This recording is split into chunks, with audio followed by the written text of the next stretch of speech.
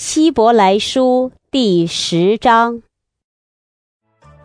律法既是将来美事的影儿，不是本物的真相，总不能借着每年长线一样的祭物，叫那近前来的人得以完全。若不然，献祭的事岂不早已止住了吗？因为礼拜的人良心既被洁净，就不再觉得有罪了。但这些祭物是叫人每年想起罪来，因为公牛和山羊的血断不能除罪，所以基督到世上来的时候就说：“神呐，祭物和礼物是你不愿意的，你曾给我预备了身体；凡祭和赎罪祭是你不喜欢的。”那时我说：“神呐，我来了，为要照你的旨意行。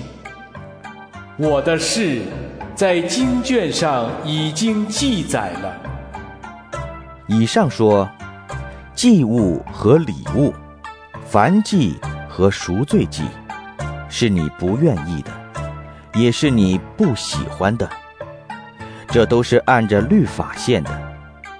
后又说：“我来了，为要照你的旨意行。”可见他是除去在先的，为要立定在后的。我们凭着旨意，靠耶稣基督只一次献上他的身体，就得以成圣。凡祭司天天站着侍奉神，屡次献上一样的祭物，这祭物永不能除罪。但基督献了一次永远的赎罪祭，就在神的右边坐下了。从此等候他仇敌成了他的脚凳，因为他一次献祭，便叫那得以成圣的人永远完全。圣灵也对我们做见证，因为他既已说过：“主说，那些日子以后。”我与他们所立的约乃是这样：我要将我的律法写在他们心上，又要放在他们的里面。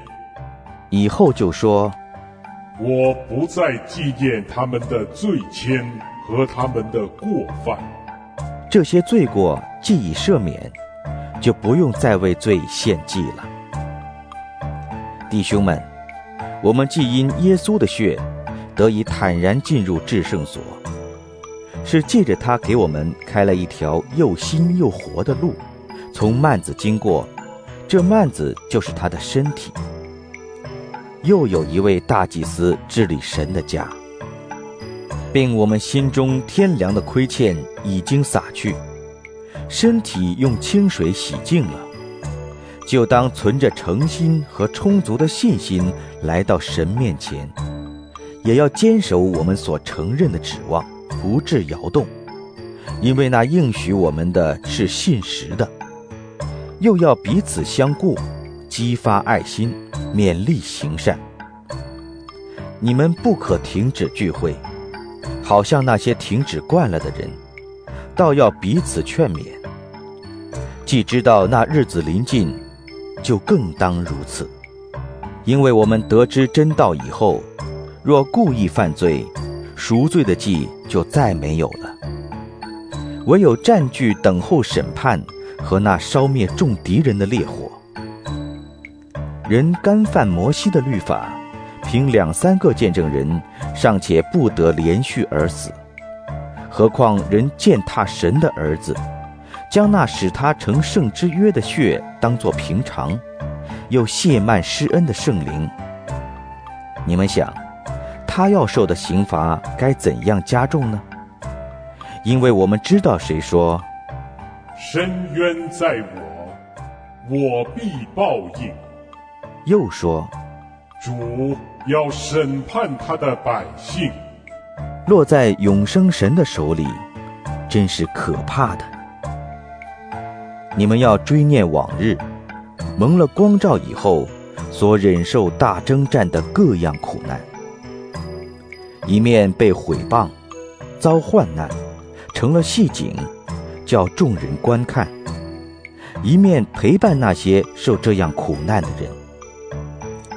因为你们体恤了那些被捆锁的人，并且你们的家业被人抢去，也甘心忍受，知道自己有更美长存的家业，所以你们不可丢弃勇敢的心，存这样的心必得大赏赐。你们必须忍耐，使你们行完了神的旨意，就可以得着所应许的。因为还有一点点时候，那要来的就来，并不迟延。只是一人必因信得生。他若退后，我心里就不喜欢他。我们却不是退后入沉沦的那等人。乃是有信心以致灵魂得救的人。